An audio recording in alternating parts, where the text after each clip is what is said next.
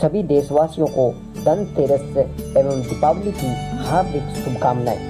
Ashoka electronic main बाज़ार अनूपगढ़ पिछले 30 वर्षों से आपकी सेवा में L G Godrej, Lloyd Blue Star company के अधिकृत dealer L E D TV, fridge washing machine, AC micro oven सहित सभी प्रकार के इलेक्ट्रॉनिक उत्पाद उचित मूल्य पर उपलब्ध है। दीपावली के शुभ अवसर पर विशेष छूट के साथ अक्सर उपहार, आपकी दुकान, अशोका इलेक्ट्रॉनिक मेन बाज़ार, अनूपगढ़।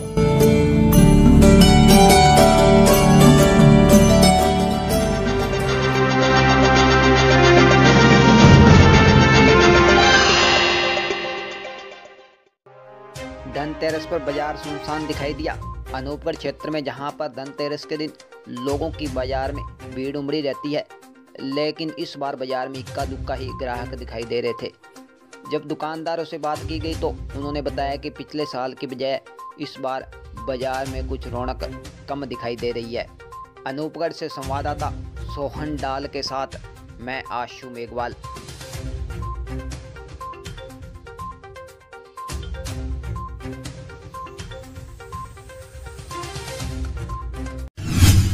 को थोड़ा फ़र्क तो है। हम पिछले सात साल से बाज़ार में सेवाएँ दे रहे हैं पर इस साल जो है जैसे एक तो बारिश ने बहुत ख़राब कर दिया लोगों का नरमा पर फिर भी कुछ हद तक मार्केट में ग्राहक निकल रहा है पर उतना नहीं निकल रहा जितना कि पिछले साल पिछले सालों में निकल रहा था।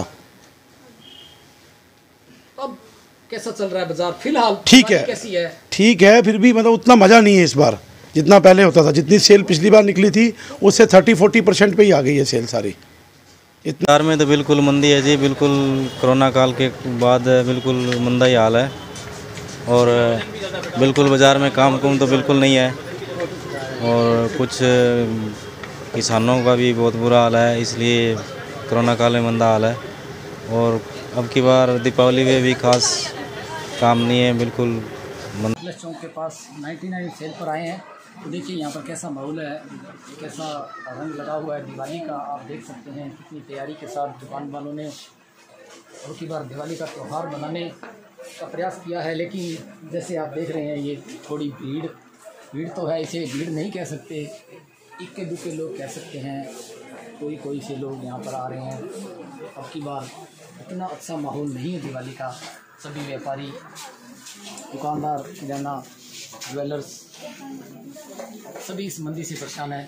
तो आइए हम इनसे बात करते हैं तो पूछते हैं कैसा हाल है इस बाज़ार का? नमस्कार आपका स्वागत है। तो आप बताइए कि क्या माहौल है इस अब की बार दिवाली का? कैसा होना चाहिए था और कैसा है? ठीक है सर थोड़ा सा अभी मंदा ही समझ लो बाकी ठीक है चल रहा है मार्केट के साथ। पिछली बार की तरह ही है या कुछ है? तरह काफ़ी काफ़ी समझ लो। मंदा है? है कितनी मंदी है? वो तो दिख ही रहा है आपको सर सर आप महँगाई बढ़ने के कारण मंदी है या कोई और कारण भी रहे हैं साथ में? तो समझ लो कुछ महँगाई कुछ फ़सलें वगैरह खराब हो गई हैं बारिश वगैरह से।